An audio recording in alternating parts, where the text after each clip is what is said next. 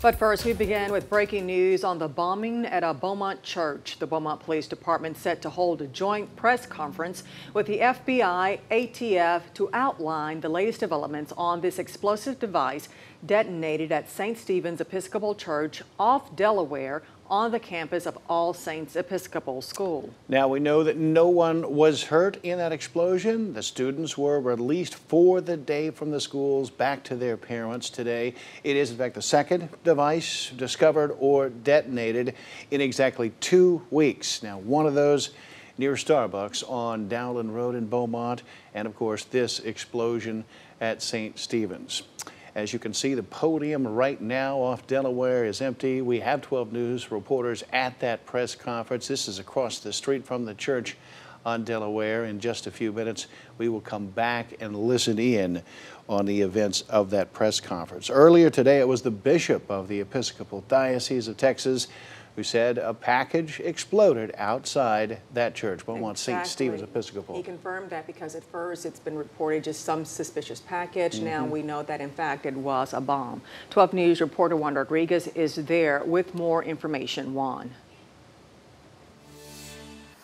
Kevin, Erica, as you can see right behind me, the area is still, law enforcement are still out here trying to investigate what is going on. But this is so far what we have already confirmed. The Ninth Bishop of Texas says a package exploded outside St. Stephen's Episcopal Church, according to the Episcopal Diocese of Texas. When church members arrived to the house of worship this morning, they found blown out windows, holes in the walls, and traces of a detonated package at the office entrance. Those on scene called at around 10:45 this morning. That's when they notified the police. Parents were notified to come to All Saints School. That's the nearby school right behind the building to pick up their children. 12 News did speak to one of those parents who was leaving with their children from campus.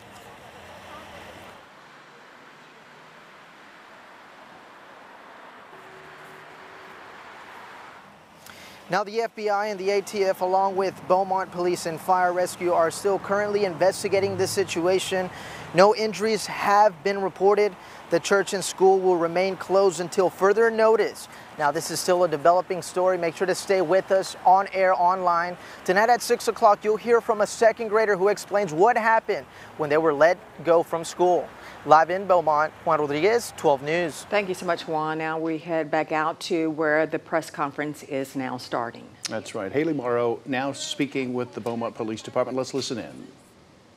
And to the chief's right is Special Agent Orlan Streams. That's O R L A N S T R E A M S from the Federal Bureau of Investigation.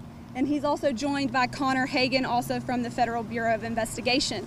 This is a preliminary press conference, um, and we will limit questions at the end. So thank you all for being here, and right now I'm going to turn it over to Chief Jim Singletary from the Beaumont Police Department. Thank you all for being here. At approximately 9.18 this morning, officers from the Beaumont Police Department were dispatched to St. Stephen's Episcopal Church, 4090 Delaware, in reference to a criminal mischief call. Upon arrival, our officers observed what appeared to be a package that had been previously detonated, causing minor damage to the building. As you can see, we have this is a joint investigation with the Beaumont Police Department, the ATF, and the FBI. And you can see behind us that we have utilizing we are utilizing a large amount of resources to try to get on this as quickly as possible. We know that you have many, many questions, but there are so many things that we cannot talk about right now, even though we're trying to be as transparent as possible. We, we will not answer questions concerning the suspect, any suspects, any components, any intended victims, or any motives or any relationship to any other devices or previous devices.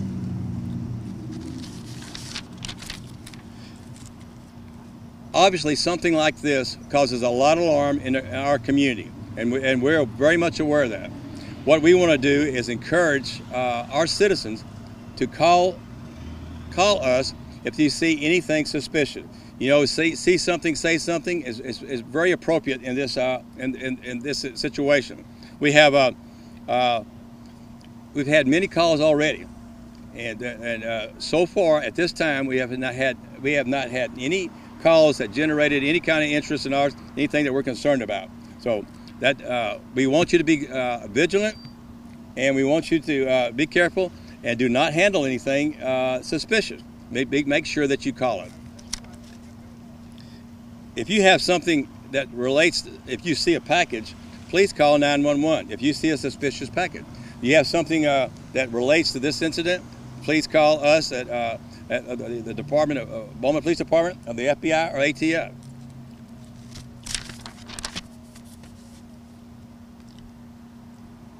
We will answer some questions at this point. Uh, go ahead. Uh, only thing we're going to say is it's minor damage.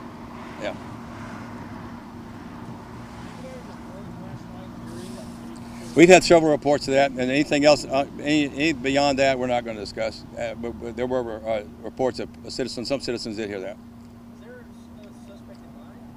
We- We are not going to comment on anything involving a suspect or suspects. Can you confirm the nature of the damage? The church released some information about kind of the nature. Can you confirm the statement they put out about uh, glass being broken and bushes being destroyed and stuff like that? We understand that the, the church put out some information, and we're not going to comment on that. Chief, two incidents like this have been frequent. You had the Starbucks incident three weeks ago and like today. What do you think of the people here in Beaumont to stop them from mass panic? Absolutely, uh, uh, we understand that. Uh, what we're trying, that's the reason we're here, we're here. We can't give you a lot of information, uh, the citizens right now, uh, but we can tell you that you look behind us and see all the resources that we have together. The, uh, all the uh, assets of the FBI and the ATF are available to us uh, from the Houston division. So uh, we, we want the citizens to know that we're doing everything possible to make sure that uh, that this suspect or suspects are are captured as soon as possible. But uh, we understand the concern, but we want them to call the police. Uh, if, if they see something, do not hesitate to call us. Uh, Guys, we're going to take two more questions from the chief. Two more questions. Do the parents of the school uh, All Saints, do they have anything to be concerned about? At this time, we have no information that they should be concerned about anything else. We are going to keep this uh, uh, crime scene open for a while. We are doing everything possible to make sure that our citizens are safe. As you can see, and I've talked about already, we've got the resources of the FBI and ATF uh, uh, working with us. So we're doing our we're doing our, our, our best to make sure our citizens are safe, and we have no information that uh, that it's not unsafe at this time. Okay, this is the last question. People be worried about every bounce that they can't do, recognize anything they see outside their home. They call you guys. Absolutely. We don't want our, our folks to panic. We want them to be vigilant. And, and anytime they see something suspicious, just to call us. Uh, it's that easy. Uh, this is going to be a long-term investigation. Uh, we're going to be here a while. We're going to do everything we can to make sure our citizens are safe. And the FBI and ATF is going to be right there with us step, step by step.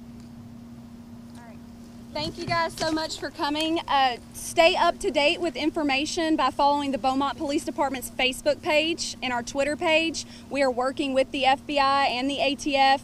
Uh, they are sharing all that information. The information will be joint. We will all put out the same message. Uh, we will update you guys on any additional press conferences, and we'll give you plenty of time through a press release and notification on social media when we do the next press conference.